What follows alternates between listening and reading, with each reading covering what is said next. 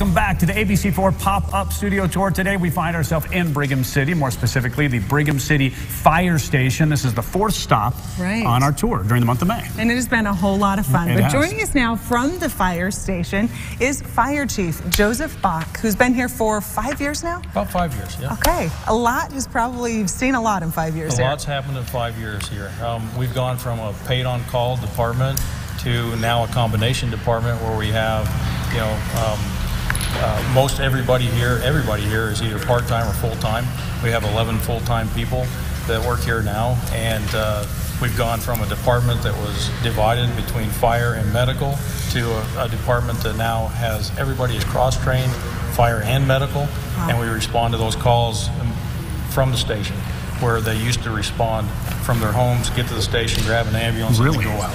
So and that was just here. within the last five years this That has was changed. five years ago. It Wow. was just like that. So, so some big change there. Now, you came out to Brigham City from other places. How- What brought you out here? Was it just finding out about the area and the job, or Yeah, yeah. Well, I, I worked over in Cache Valley with Logan Fire Okay. Department for 20 years, and I've been in the fire service for about 30 Mm-hmm. years, and When? I've been Yeah. here about five. So I came here as a fire chief. They hired me as a fire chief uh, to come in and make some changes, and we've been able that'll to be make quite a few changes, and tomorrow at um, you 8:30? it's- it's been good. We should talk about some of the unique Sure. things. First off, I want to say thank you, by the way, too, for hosting us in your space, and Oh, thanks for your 30 years of and, and making sure no calls happen over here? That was good too. I don't know how you did that. We, we've been busy all day, so yeah, we we run about 2,700 calls last year, and uh, that's an average of about seven to eight calls a day, and we've already had that today.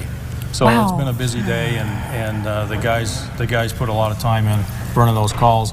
It, it doesn't leave a lot of time to get things ready, Right. you know, for everybody coming, but they, they have to make sure their apparatus and equipment is ready to go. So. Something unique, I would say, is that you guys cover such a big area, We right? do, Talk about yes. what's so unique to Brigham City. So one of the things that's interesting about our dynamics is that we cover all of the ambulance calls, paramedic ambulance calls, for an area that's about 750 square miles.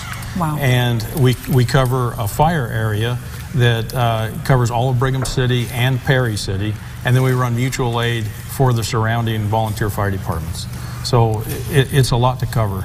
And when you talk about transport times that go all the way out to Promontory, Right. it's 45 minutes when you just Really? to get out there and then you pick up your patient in 45 minutes to a hospital. Right. So it all depends on what's going on during the day and how things are going. It's, it, it- sometimes it's very difficult to get the staffing right. to do that. and the same right? thing, I guess, in the other direction. You're going clear out to the Cache County line, to Correct. the other direction, right? Up the canyon, and in the wintertime, that canyon gets to be a mess. Oh, yeah. But we have those calls. We certainly do.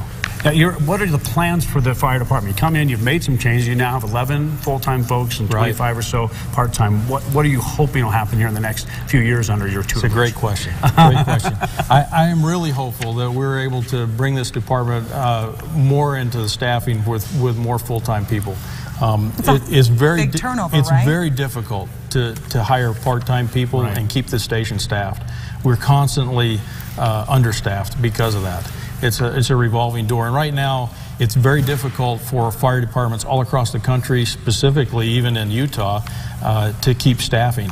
Um, it's it's hard to find people coming into the fire service right now. Most it seems like most young people as they as they uh, are developing their careers, they're not looking for this kind of work. Oh, most of them are doing computer stuff Yeah. and Right. that kind of thing, and we need more people like that. that- Okay, that are- they're telling us our time's up, but if you could say one message on as you're trying to recruit more people interested in this field, what do you want to say? well, I think what I would say is this is a great job. Yeah. It's been good to me.